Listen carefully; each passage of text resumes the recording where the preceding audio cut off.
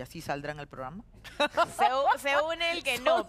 Pero en una de las ¿no? conversaciones yo le digo, oye, ¿estás bien? Porque hablábamos con él, él estaba en vivo y le digo, oye, ¿estás bien? Te veo como no sé qué. Y me dijo, sí, me he tomado medio clona, bueno, me he tomado medio clona, no sé qué. Y yo, ok.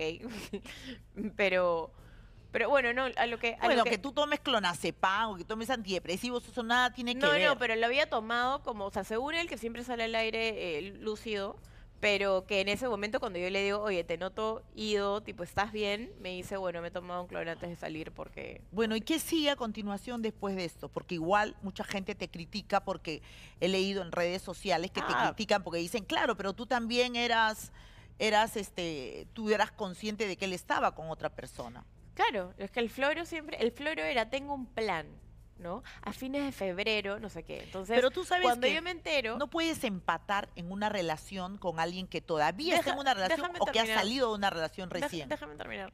Cuando, cuando él, cuando me dijo, yo tengo un plan a fines de febrero, y yo me entero, por un familiar suyo, de que justo a fines de febrero terminaba el alquiler de la casa de playa. Entonces yo, entonces yo dice, uno más uno igual dos.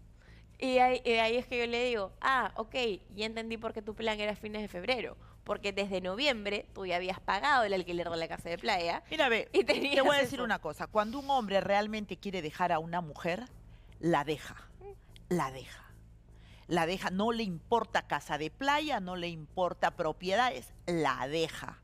¿Entiendes? Es así. Sí, es así cual. de simple. Tal Es cual. así de simple.